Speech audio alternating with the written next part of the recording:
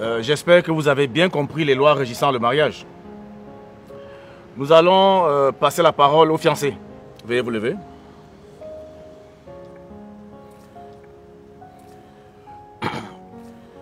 Je commence par l'homme.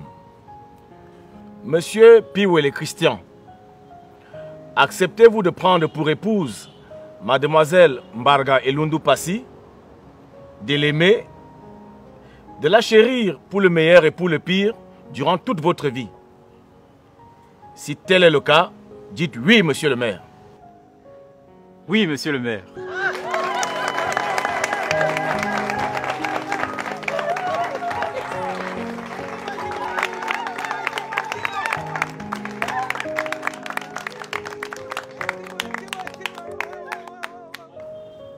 Mademoiselle Mbarga Elundu Passi, acceptez-vous de prendre pour époux Monsieur Piwele Christian, ici présent, de l'aimer et le chérir pour le meilleur et pour le pire durant toute votre vie? Si tel est le cas, dites oui, monsieur le maire.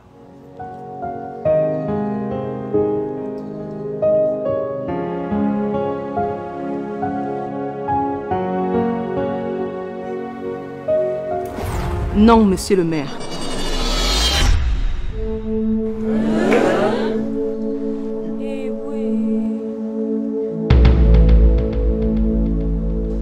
Je ne peux pas épouser un homme qui ne m'aime pas. Je ne peux pas vivre dans un mariage où le vrai et même l'unique lien du couple, c'est l'enfant.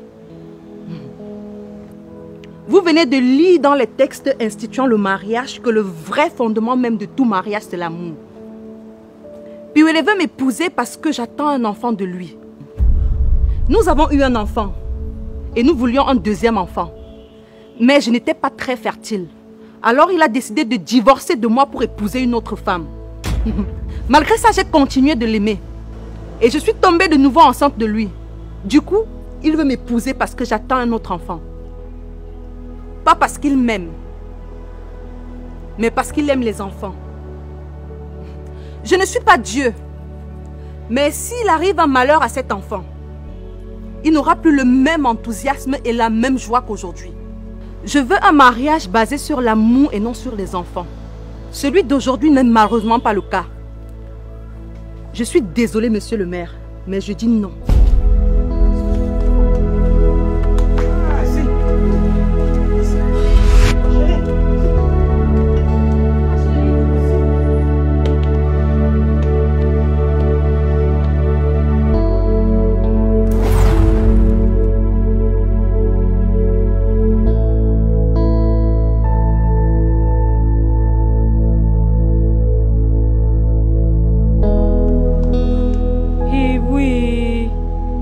Passy a fait fort.